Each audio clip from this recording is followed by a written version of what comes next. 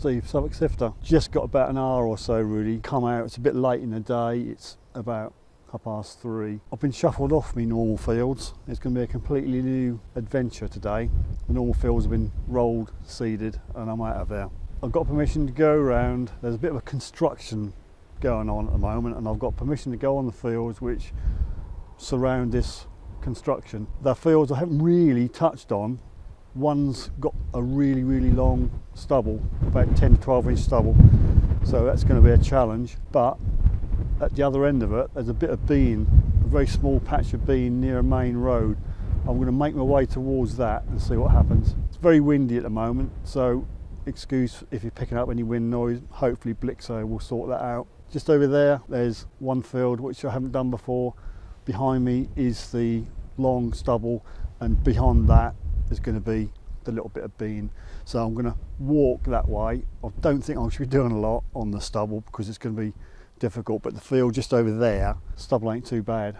So I'm going to go do the beans first, come back for stubble and see how we go. I should be using Gary's Deep Relic just so you can get to hear the sounds. So what I'm going to do is turn the speaker on the remote so hopefully you'll be able to get a good sound of what the deep relic is. It's quite quiet anyway, but then after that I shall revert back to Gary's Ultimate and I shall do the beans and to say come back and do this. I'm going to get kitted up. Thanks for joining me and I'll see you on that bean field. Excuse me for squinting, sun's really low and it's in my boat race. I just want to thank you, yes you, my new subscribers to Suffolk Sifter. There's been quite a few and I much appreciate it and your names will be scrolling from bottom to top at the end of the video. So don't go away. Right, here we go. I'm en route. I'm going down, down, down there. There's a teeny, teeny bit of uh, stubble, bean stubble. This is the fairly high stubble and we're on deep relic. Now, there's, there's always a constant buzz. If you set it to how Gary wants it or how Gary uses it in threshold, it should be on five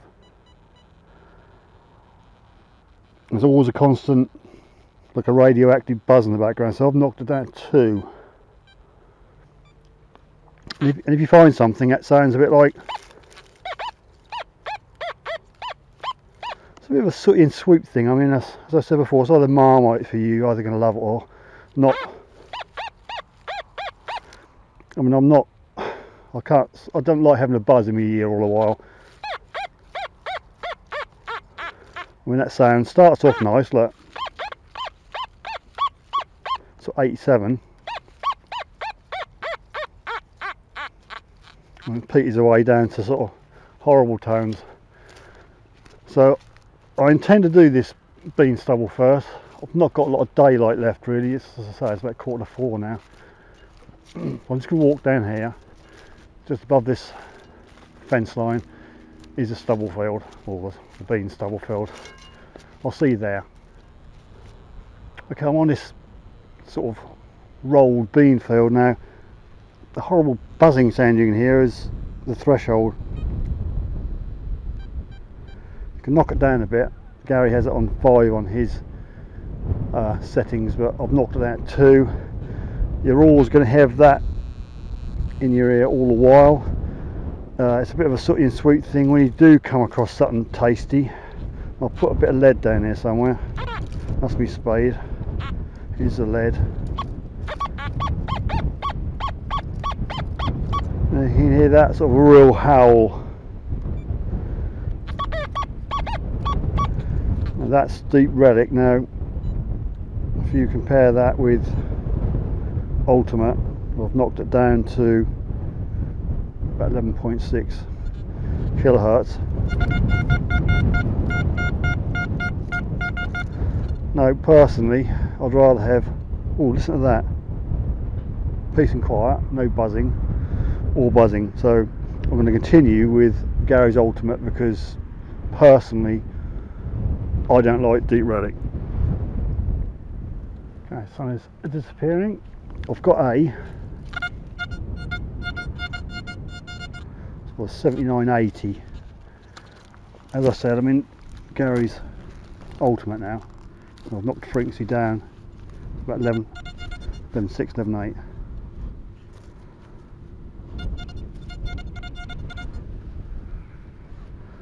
been finding lead so far.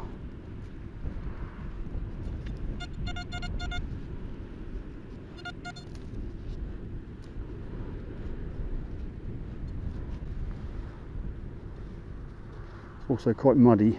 I had a bit of rain. Oh, I think that's just a button. It's a bit windy, so I apologise for the wind noise if you're picking it up. But it's just a a plain concave four hole button. Just do a live one just for the heck of it because um, time's getting on. It's an 84.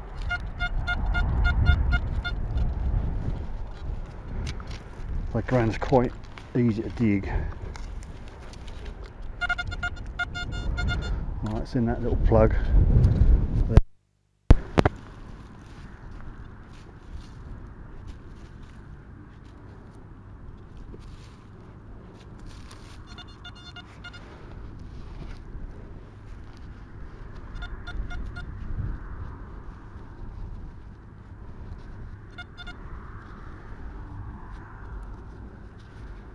So it is a bit of a UFO, I think.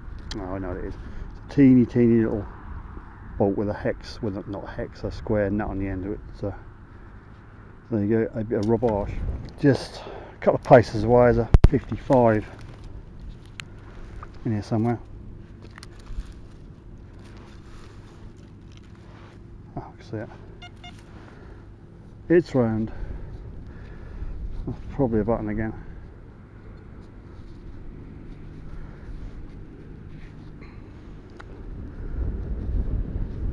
My eyes, it's a button. Yep, another button. Okay, I've got a 59 at the moment. I just dug up a little button, just a bit further back there if I can get that out of my pouch. Plenty of lead, plenty of four hole buttons. This particular button, if I can get it out, is a, I don't know, it's a little squish button. It's got some detail on there, but I don't know you can see it. I can barely see it. But you can see it back, you can see where the eye was. Anyway, back to the 59.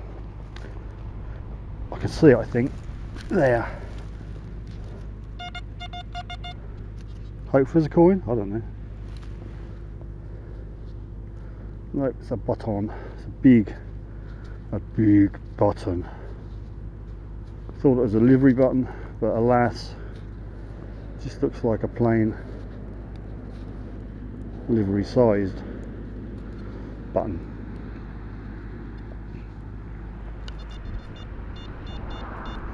Seventy six, seventy seven.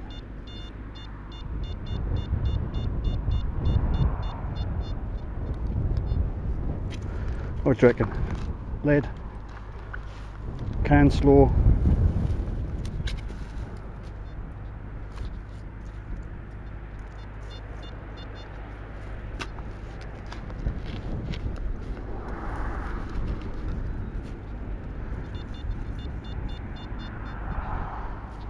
Think I might have just disturbed it. We'll have a look.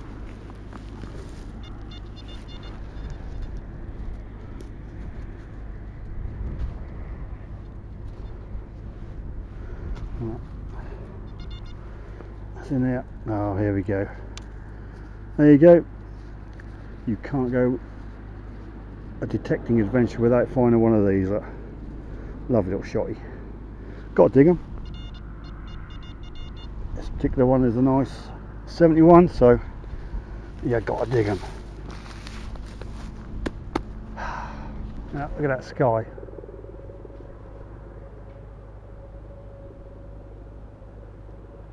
Well I've made my way back to the truck and you've got probably slim to no chance of seeing what I'm going to be filming. Uh, lost my light. I'm back at that other field. I'm, I'm just going to disappear off into the distance and come back and go home. Um, I'll have to come out early next time.